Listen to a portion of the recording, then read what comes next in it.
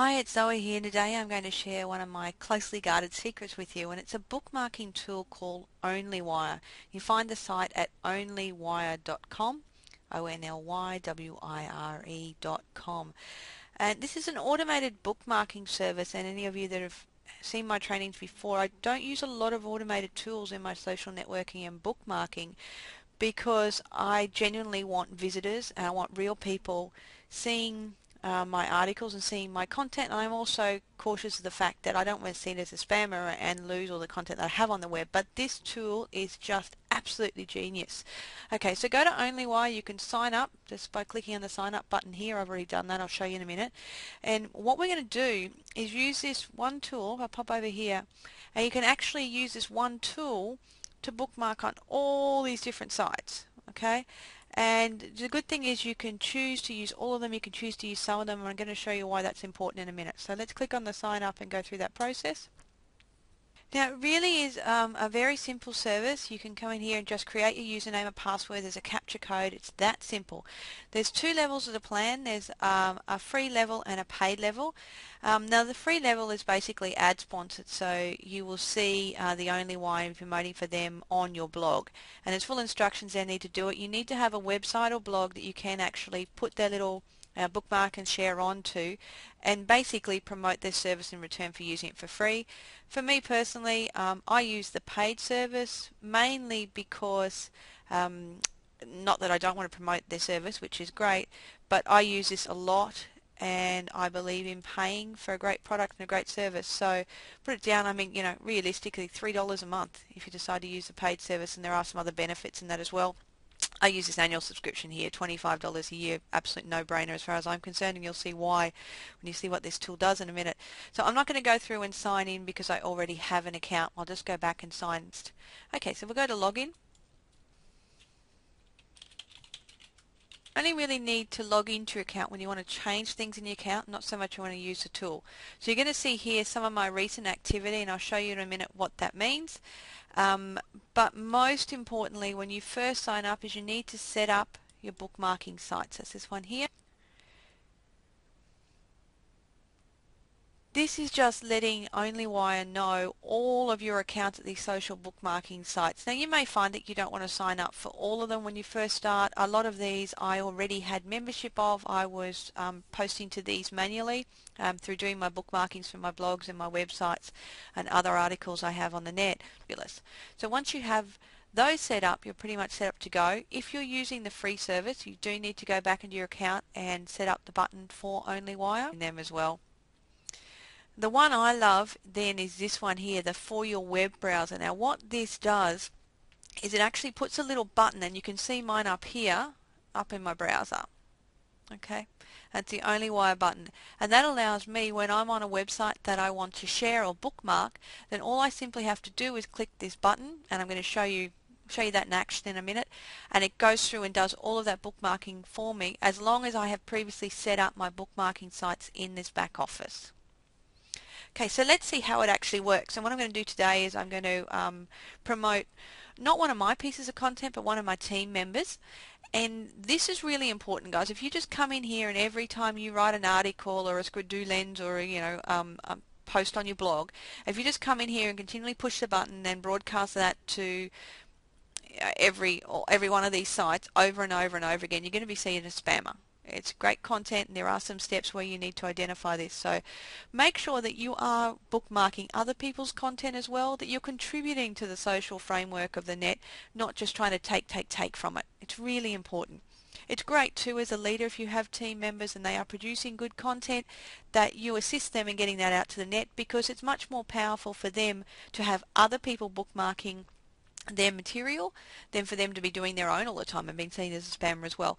Okay, so my team member, uh, Mr. Craig Baildon, so a lot of you will know Craig, has just put up a Squidoo lens.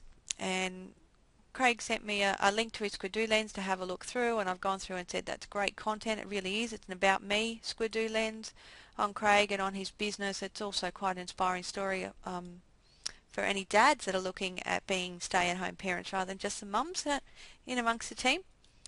So what I do is I come to this site and say, that's great, I think that's worth sharing. And because of the way I have my only OnlyWire set up, all I need to do now is go up to this little blue button, click on it.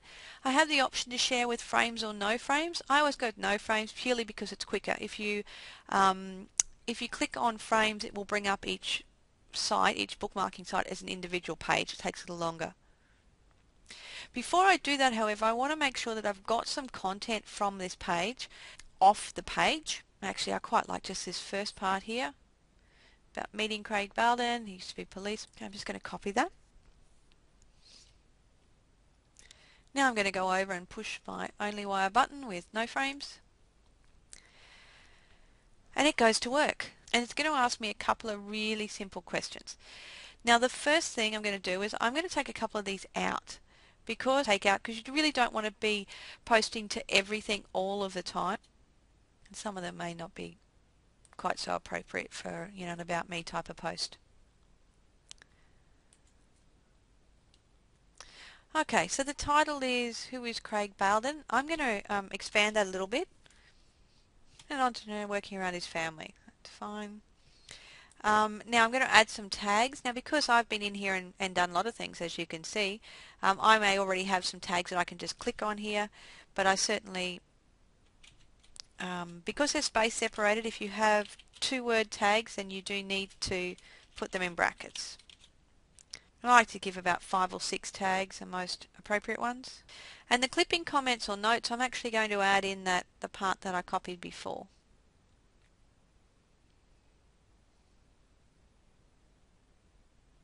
and then I simply click bookmark page.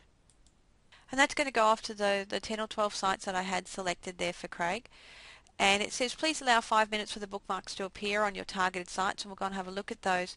Some of the sites require a little more action than that. Some like like you to put them into categories, some like you to actually rate it.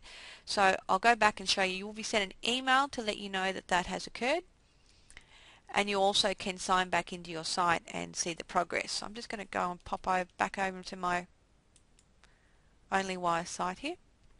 Okay, so here we are. Here's Craig's, and it shows you already the successful sites that it's been posted to.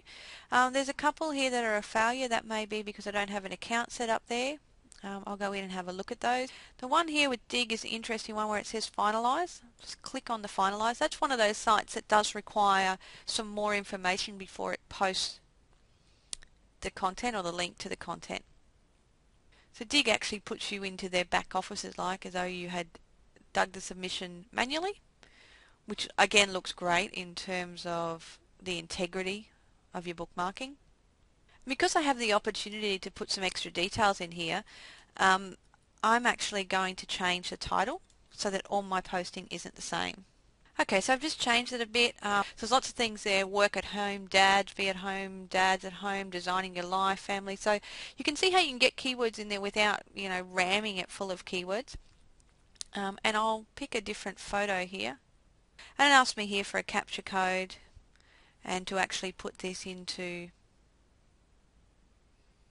a topic, submit story, and our Digg submission is done. Um, quite often they will ask you to make sure that this one isn't duplicate content, that someone else hasn't previously um, dug this post as well. And that's exactly what they're asking. I've checked out this page and there's definitely no duplicates there, they just had very similar keywords, so totally original I swear.